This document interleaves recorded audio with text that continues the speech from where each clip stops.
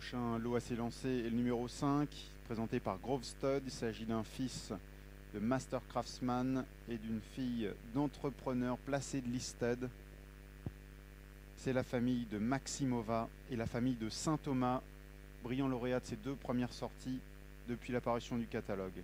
Le numéro 5, fils de Master Craftsman, déjà père de deux vainqueurs depuis le début de la saison et de la famille de Saint-Thomas.